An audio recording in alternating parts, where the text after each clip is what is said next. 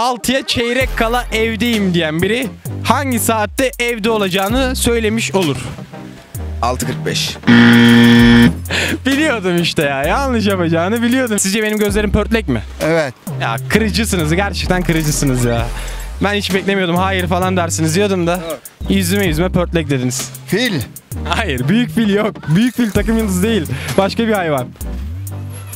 Aslan. Bir kere şapkanı takabilir miyim? Takabilirsin buyurun. Çok merak ettim. Bende nasıl olacak? Reji ne diyorsun bakalım bir. Yakıştı mı? Tahta desem hayır değil. Uzun, büyük, atlama şansım var. Tarif kötü yere gidiyor ama.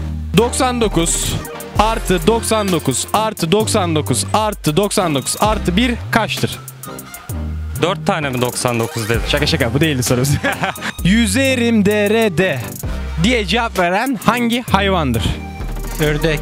Hangi takımsın? Fenerbahçe. Fenerbahçe bu sene şampiyon olur mu? Tabii ki de. Emin misin? Evet. Geçen sene de bunu demiş miydin?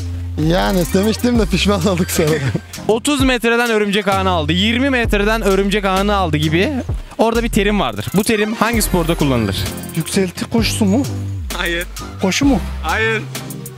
Bu soruyu yorumlarda doğru cevaplayan ilk kişi yine bizden bir hediye alacaktır.